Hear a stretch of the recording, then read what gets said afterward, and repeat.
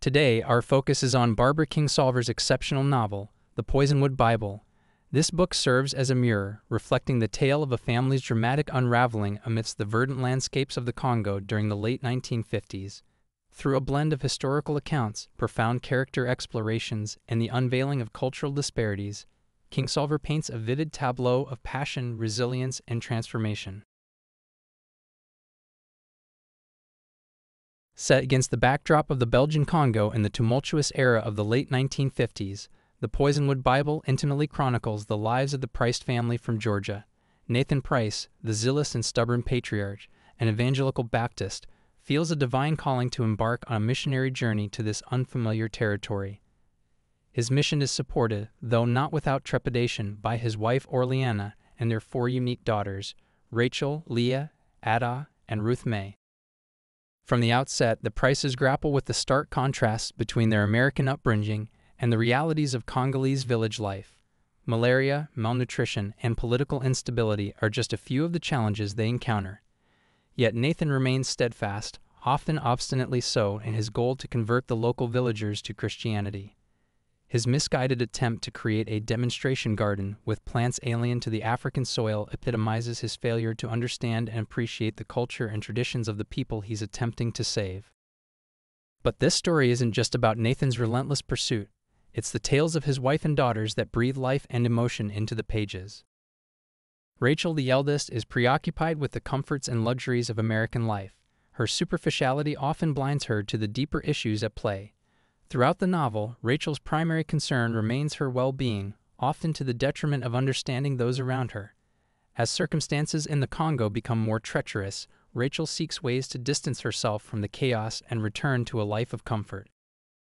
Leah begins the journey with genuine enthusiasm, looking up to her father. But as she witnesses the effects of his unyielding behavior on the locals and their own family, she grows disillusioned. Her bond with Anatole, an educated Congolese teacher and political thinker, shapes her views and allegiances, making her an active participant in the Congolese struggle for sovereignty. Ada, Leah's twin, navigates the world with hemiplegia, giving her a unique lens through which to observe her surroundings.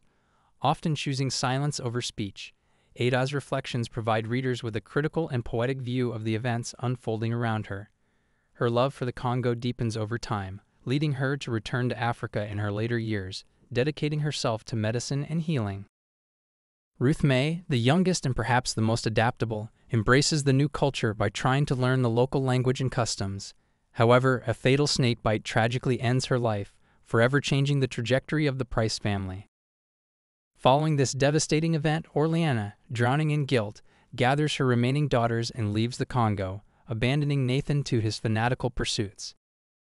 Decades later, the repercussions of their time in the Congo continue to reverberate through the lives of the surviving Price women, shaping their destinies in profound ways.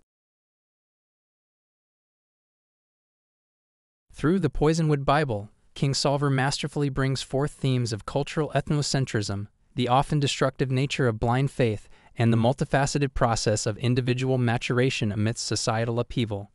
The novel's narrative structure, which pivots between the perspectives of the five Price women, adds depth and richness, allowing readers to experience the Congo and its complexities from diverse viewpoints. Beyond the personal tales of the Price family, the book delves deeply into the post colonial narrative. The Congolese fight for freedom from Belgian rule parallels the Price family's struggles, drawing attention to the broader historical context and the lasting impact of Western interference in African nations. Kingsolver's characters are not mere fictional creations, but embodiments of real human reactions to adversity. Rachel's self centeredness, Leah's awakening to social justice, Ada's introspective wisdom, and Orleanna's motherly despair represent a spectrum of human responses to the challenges that life throws at us. In wrapping up, the Poisonwood Bible is not just a narrative of a family, but an enlightening exploration of the confluence of cultures, politics, and personal growth. Kingsolver's artistry in weaving these threads together offers readers a tapestry of emotions, reflections, and insights. For those passionate about understanding the nuances of human nature set against the grand stage of history, this novel is a must read. If this deep dive resonated with you, please consider subscribing to the channel. Your support will undoubtedly help in our continued journey through the realms of literary masterpieces. We appreciate your time and engagement.